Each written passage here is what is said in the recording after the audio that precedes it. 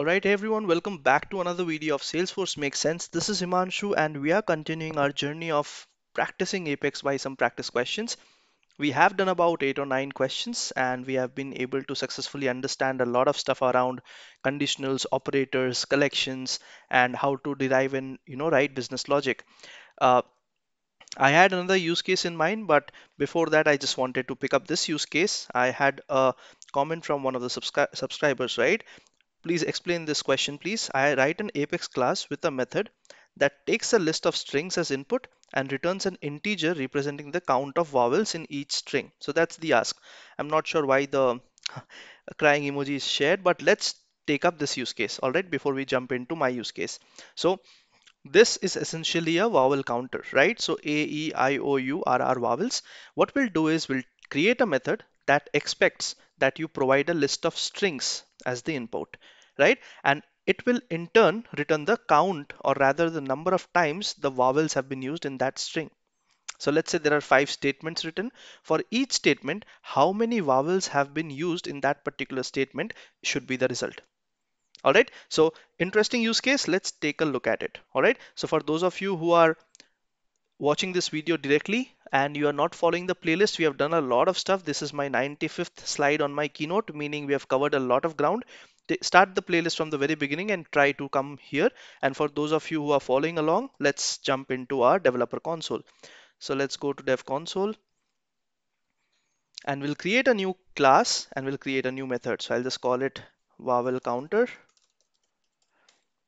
and let's create a new method. So what should be the return type of the method? It should be a list of integer, correct? Because it should tell you for each statement. Let me just quickly put up the statements here, right?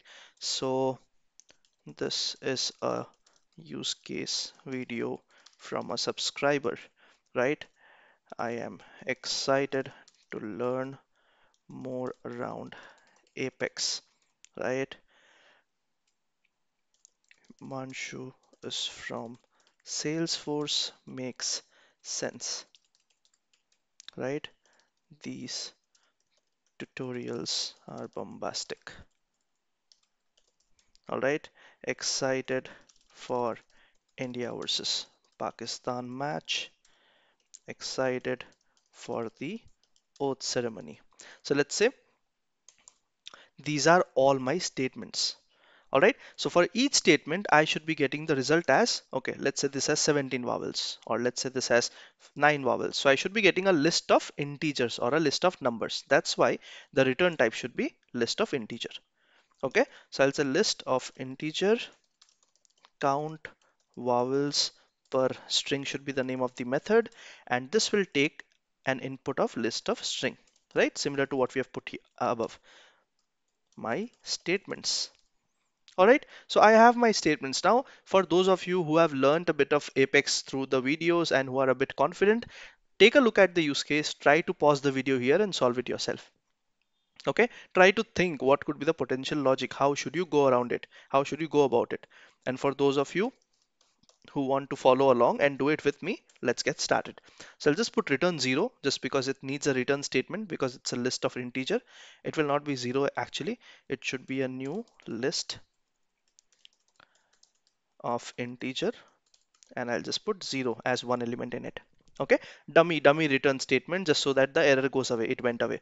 All right so now what do I have? I have a list of strings. What do I want to do? First of all I want to iterate over each of my strings. Correct? So the plan is to iterate over each one of them operate on them and then proceed ahead. Right? So what is my operation that I want to do here? I want to check what are the vowels here correct. So what I'll do is I'll tell the system like this is the list of vowels. Now what are the list of vowels? Let's define them here on the top. So I'll say public static list of string right? And vowel list equals a new list of string and I'll just define each string which is basically nothing but five right? So a e i o u so this should be my list of vowels or the vowel list that I have right so I have my vowel list and I've told the system that this is my vowel list it is basically five different vowels so what I want to do here is I want to count the number of vowels per statement right? So we are sure that we'll have to do a iteration first of all, because I want to iterate over each statement and then I do want to do a count. So I'll say for string each statement in my statements. Correct? So for each statement, what is the first statement that will show up here? The first statement will be this one, right? So this is the first statement that will enter the loop. Now what do I want? I want to be able to count the number of times A, E, I, O, U have been used in that statement. So is there any method that tells me that? Right? So where do I find it? Because we are in the string string data type, we can take a look at our string string uh, database and we can take a look at the string methods. Right? So if I take a look at string methods apex, let me quickly just get this guy here so that we don't have to switch all the time. Yeah, and let's open vowel tracker here.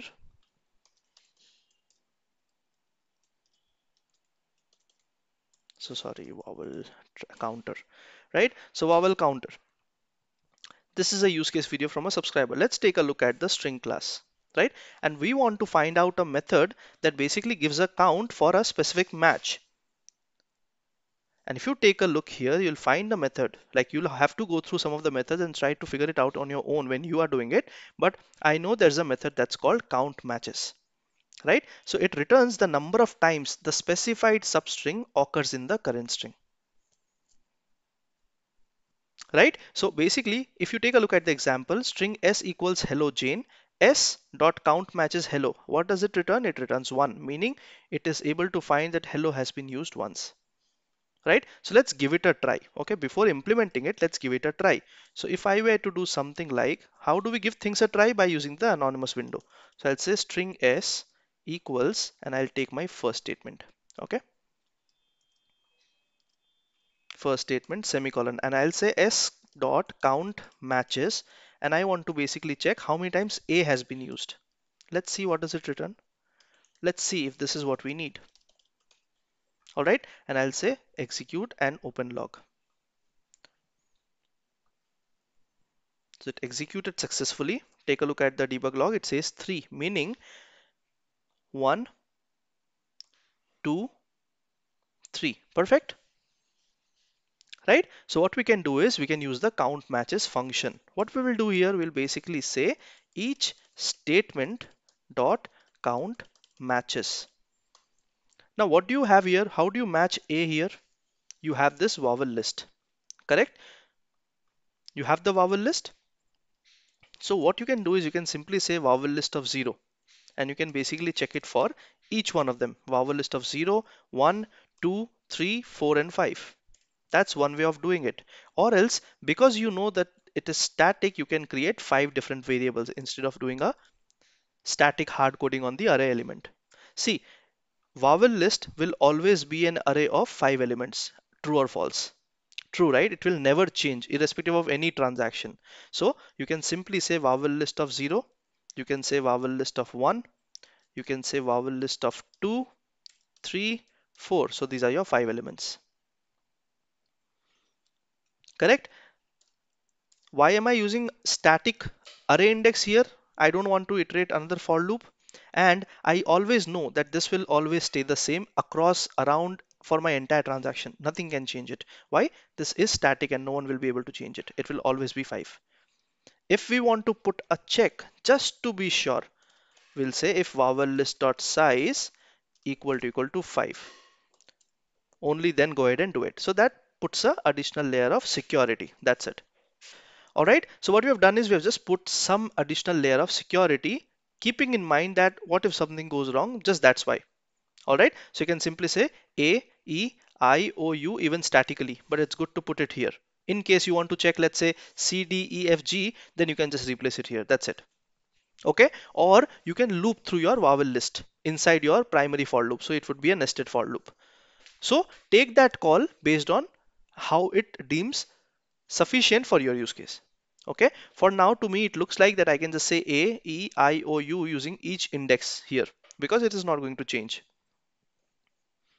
okay so I'll simply keep it like this now what will each statement give me here this will give me the count of A in the string. This will give me the count of E. This is I. This is O. This is U. All right. So what I can say, I can simply say integer or rather what if I simply add all of these statements together? What if I put a plus sign here? Will that give me the total count that I'm looking for? Yes, it will give me the total count, right? So let's get rid of the comments. Let's get rid of the semicolon and put the semicolon at the end. So if I just say save now, I'll say integer vowel count equals the summation of all the count matches for my string for A, E, I, O, U. As simple as that. Okay, and I'll simply say here system.debug vowel count. Save. Okay. Let's give it a try. So this is a use case video from a subscriber is my first string, right? And I'll say system.debug s.count matches a. Instead of this, I'll simply call my method.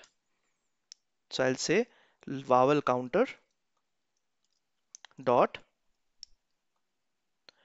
count vowels per string and I'll define a new list of string here but it will only contain one string element for now which is my s variable that is defined here. I hope you are familiar with this instantiation and then adding or defining the value inside it. Okay let's go ahead and give it a hit execute. Let's take a look at what is the debug statement. So the debug statement says there are 15 vowels in total. Let's quickly verify. One two three four five six seven eight nine ten eleven twelve 13, 14. I see 14. Did I miss something? Let's quickly check again. 1, 2, 3, 4. I think I missed the O here. 5, 6, 7, 8, 9, 10, 11, 12, 13, 14. What did it uh, return? I'm, I might be ma making some mistake here. This is a use case video from a subscriber. Perfect. Let's say execute let's say debug only so it says 15 right let's take a look at why is it showing 15 1 2 3 ah okay I missed this 4 5 6 7 8 9 10 11 12 13 14 15 all right? Great. So the system is right. I was wrong two times. All right? So now the vowel count is working fine. But what I want to do is I want to introduce multiple strings, right? So what I'll do is I'll introduce another variable string. Okay, let's say string s1 equals, let, let me pick up my second string. Okay, let's give it a test for multiple strings, right? Because that's the use case. And now I'll say s comma s1. I have two strings in my list. Now what should be the answer? I should get a list of strings, right? Basically, I should get two different vowel counts in my debug statement here. Let's see what is that. Execute. Debug only. So you're getting 15 and 13. Correct? So the vowel counter is working for each string that you have and it's counting separately. Perfectly fine. Awesome. So the counter is working fine, the addition is working fine. All that's left to do is add this vowel count to a list variable. So what I'll do is I'll create a list of integer.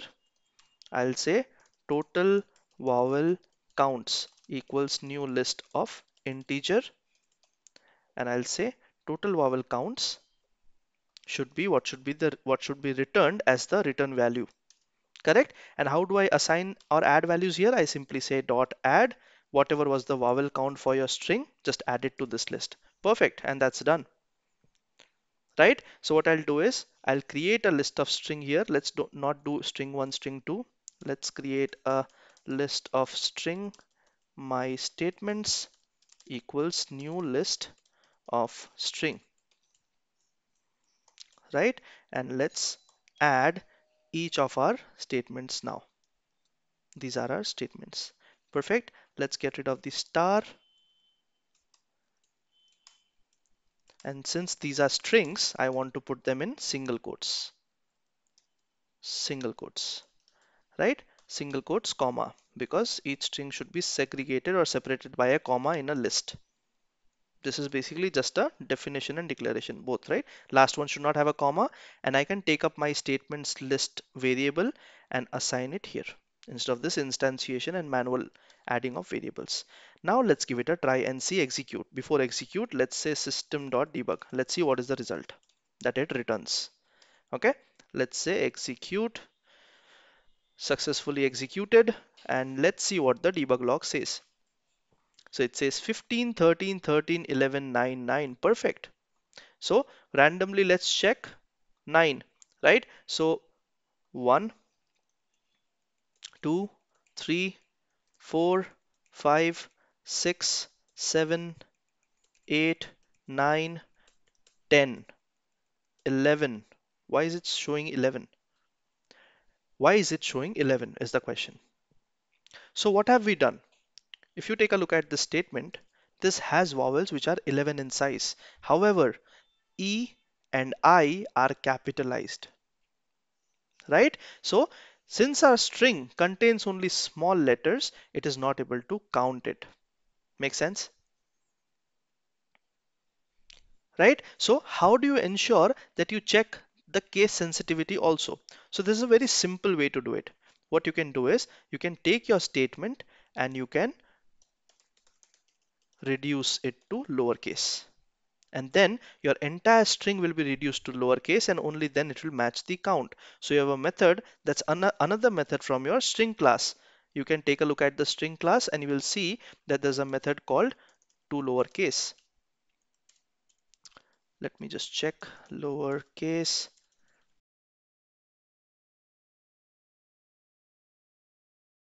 this one right here all right so we'll use this method. It converts all the characters in the string to lowercase. All right so if I go back here I'll just use this method. And I'll convert or reduce all my statements to lowercase and then I'll do a count. So now let's save it again.